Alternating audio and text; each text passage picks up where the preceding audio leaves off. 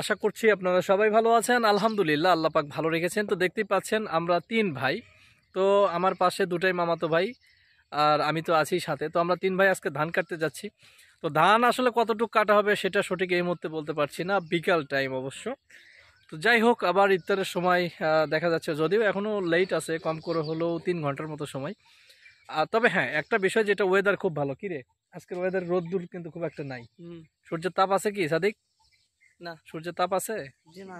কথা কি মুখ দিয়ে ফুটতেছে না?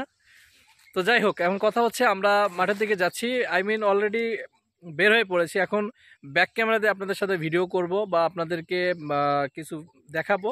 আপনারা দেখেন গ্রামগঞ্জের এই দৃশ্যগুলো সচরাচর কিন্তু যারা দেশের বাইরে থাকেন অথবা শহরে থাকেন এই দৃশ্যগুলো কিন্তু সহসায় চোখে পড়ে না। তো আই হোপ আপনারা খুবই এনজয় করবেন।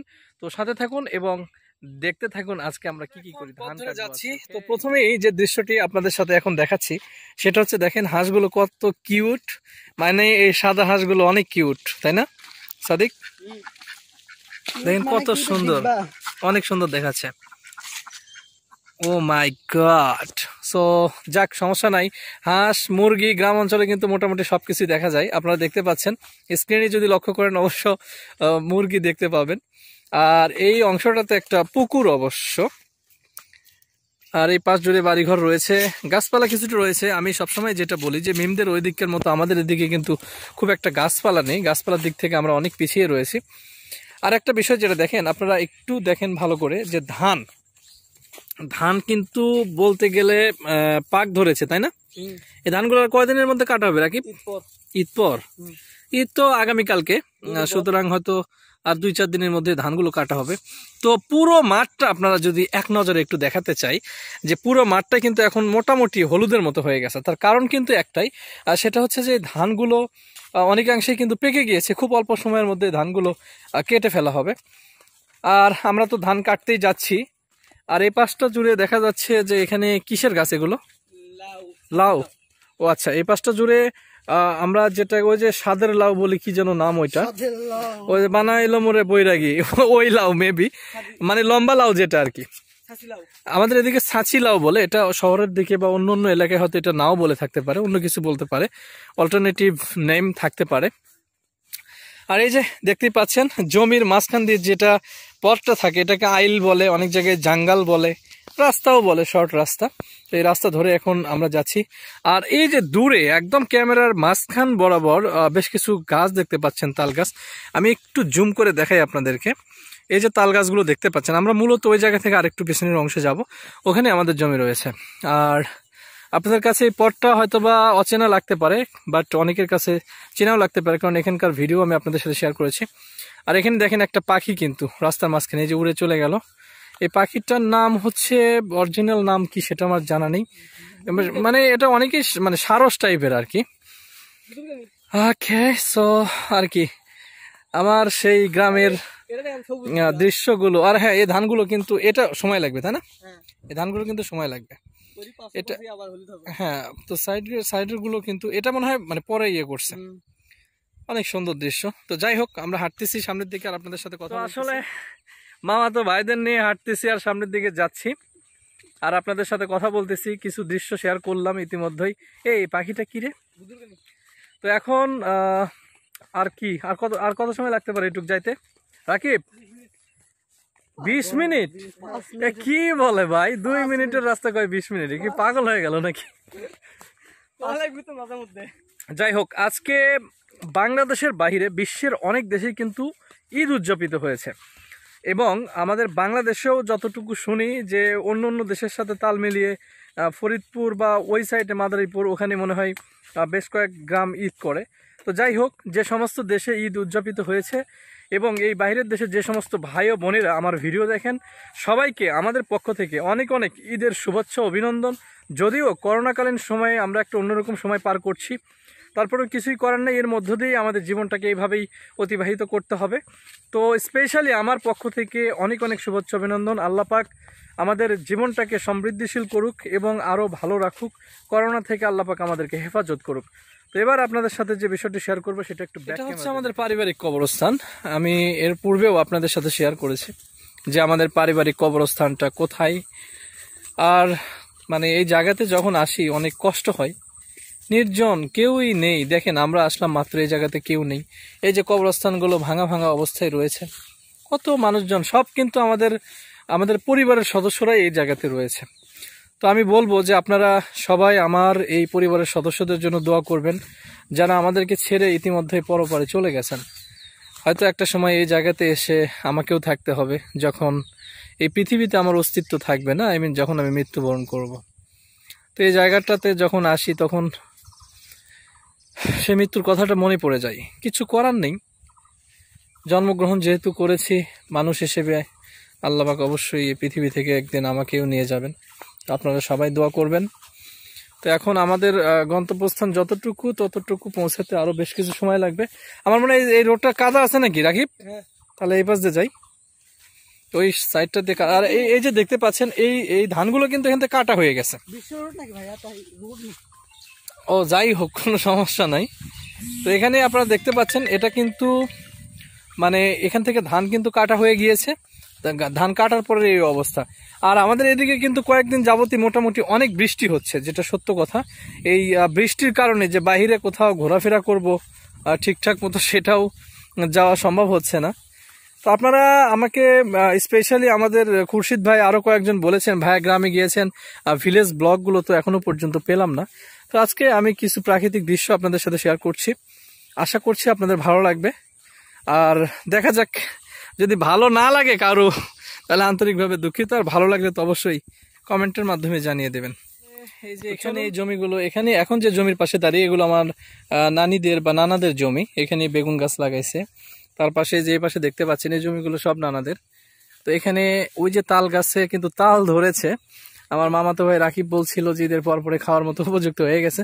তো এই ধানগুলো কাটা হয়নি এখন এগুলো এগুলো মনে হয় ঈদের পরেই কাটবে। ঈদের পর পরেই কাটবে। সো আর তাল গাছ কিন্তু একটা বিষয় অনেক গিয়েছিলাম যে তাল গাছ কিন্তু অনেকেই নাও জেনে থাকতে পারেন যে ছেলে এবং মেয়ে দুই ধরনের তাল গাছই হয়। আই মিন ছেলে তাল গাছগুলোতে তো আর কোনো ধরনের ফল হয় না। সো ওই যে দেখতে পাচ্ছেন, এই যে এই পাশের তাল গাছটা কিন্তু এটা ছেলে গাছ, আর ওই যে ওই তাল গাছগুলো কিন্তু মেয়ে গাছ। তো মেয়ে তাল গাছগুলোতেই মূলত তাল হয়। তো এখন আমরা আমাদের জমির একদম কাছাকাছি, তো এই জমি আমি জানি না আমাদের আর কোন কোন জায়গাতে ধান কাটতেছে মা বলল যে অনেক জায়গাতেই বাকি আছে। তো এখন আমি দেখি ধান কাটবো দীর্ঘদিন পরে, আমি জানি না আসলে সঠিকভাবে পারব কিনা। তবে আপনাদের সাথে অবশ্যই অবশ্যই সেটা শেয়ার করার চেষ্টা করব। আই হোপ আপনারাও এনজয় করবেন বা ভালো লাগবে। সো চলুন। এই যে আমাদের, এই সামনে এই জমিটা কিন্তু আমাদের। ধান মোটামুটি ভালোই পাকছে। সো কোন জায়গা থেকে কাটবো, রাকিব? এখান থেকে কাটবো? ওই তো। তো মোটামুটি কিন্তু বলতে গেলে ভালোই পেকেছে। ওই পাশে যাব? আচ্ছা তাহলে রাকিব যেহেতু বলতেছি, দেখেন এই যে এগুলো সব আমাদের ধান, মোটামুটি ভালো পাকছে। এটা কি হাইব্রিড নাম না? হাইব্রিড, ধানের নাম হাইব্রিড। বোঝেন অবস্থা। তো যাই হোক, এই জমিতে একসময় অনেক বড় একটা সাপ মেরেছিলাম আমরা। আমি তখন ছিলাম, এই জমিতে কাজ করতেছিলাম। তো যাই হোক, এখানে একটা কলার গাছও দেখা যাচ্ছে। সিম গাছ আছে। তো জমিতে পানি, তারপরেও দেখা যাক কতটুক কাটা যায়। এখন জমিতে ধান কাটবো আপনারা সাথে থাকুন এবং দেখতে থাকুন। তো এই যে দেখতে পাচ্ছেন আমি কিন্তু কাচি বলে এটা আমাদের এদিকে। কাচি নিয়ে কিন্তু ইতিমধ্যেই বসে পড়েছি। আজকে ধান কাটতে কাটতে পুরা জমি খালি করে ফেলব যা আছে কপালে। কি তুই কাটবি না। তো ভিডিও করতেছে সাদিক আর রাকিব আছে পাশে আর আমি ধান কাটা নিয়ে এখন ব্যস্ত। মানে ব্যস্ত হয়ে যাব আর কি। এই যে দেখছেন দেখা ধান কাটা দেখা। তো আমি কিন্তু অলরেডি ধান কাটতে শুরু করে দিলাম। ধান যত বেশি কাটা যায়। ধান কাটতে খুবই মজা। যারা ধান কাটে তারা খুব ভালো বোঝে। ধানগুলো দেখেন কি সুন্দর পেকে গেছে। তারপরেও আমি বলব যে কিছু কিছু জায়গায় আবার একটু মানে কম পাক ধরেছে। ভিডিও ঠিক মতো করতেছিস? তো এখন ঘটনা দুই হাতে ধর দুই হাতে ধর ভাই। তো এখন কথা হচ্ছে এই ধানগুলো একদম পেকে গেছে। তারপর আমি আসলে কাঁচা না পাকা এটা দেখে কাটতেছি, কারণ সব জায়গাতে আবার দেখতে পাচ্ছি যে পাকা নেই। তো অনেকগুলো ধান কিন্তু কেটে ফেলছি আমি ইতিমধ্যেই, আর এই ধানের এটা দিয়েই কিন্তু মূলত আটি বাঁধতে হয়। তো আমি দেখি পারি কিনা। আসলে অনেক আগে করেছিলাম, এটা এখন মনে পড়বে কিনা, সেটাই তো সন্দেহ। যাক, মোটামুটি হয়েছে রাকিব আগে ধানগুলো নিয়ে তো ধান কিন্তু আরও আগে কাটছি, ভিডিও করতে ভুল করছে, ভিডিওই হয় নাই। যার কারণে আর কি বলব। যে দেখেন, এখানে অনেকগুলো ধান কাটছি। তো এগুলো আমি সব এখন এক জায়গায় বাঁধবো। দেখি, বাঁধার পরে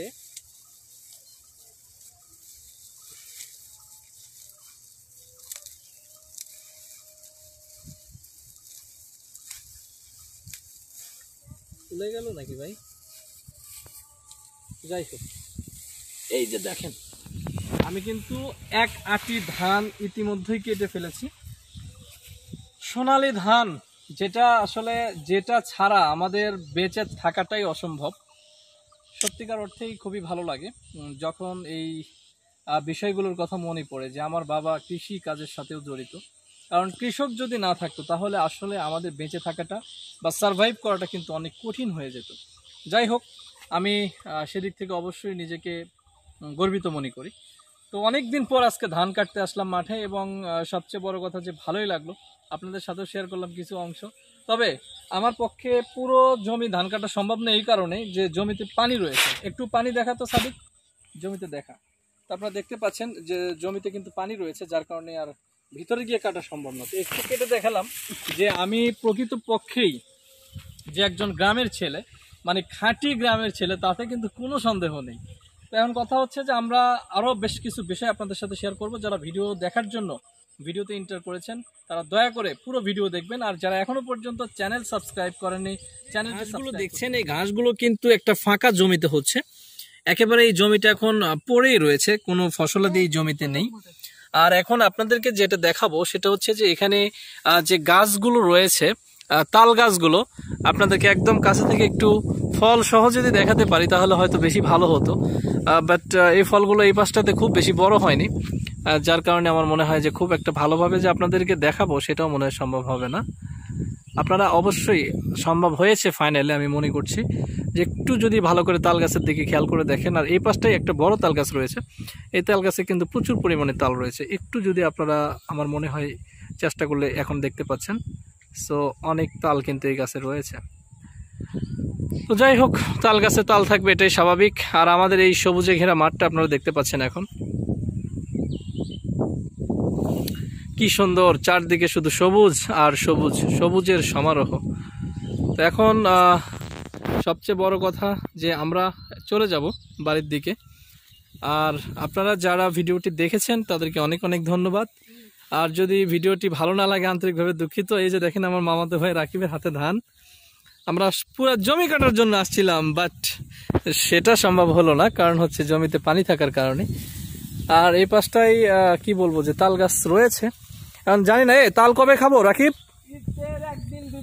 ঈদের দুই দিন পরে? হ্যাঁ। আমি কি থাকব? পারব হ্যাঁ। আচ্ছা রাকিব যেহেতু বলেছে তাহলে অবশ্যই থাকব ইনশাল্লাহ আর এখন এই কবুতর ওই যে দেখছেন কবুতর উড়ে গেল। আসলে হঠাৎ করে আমার নিজের কবুতরের কথা মনে পড়ে গেল। তো ঠিক আছে আজকের ভিডিওটা আমি এখানেই শেষ করছি। জানি না কেমন লেগেছে। ভালো না লাগলে দুঃখিত, আর যদি ভালো লাগে তাহলে তো নতুন করে কিছু বলারই নেই।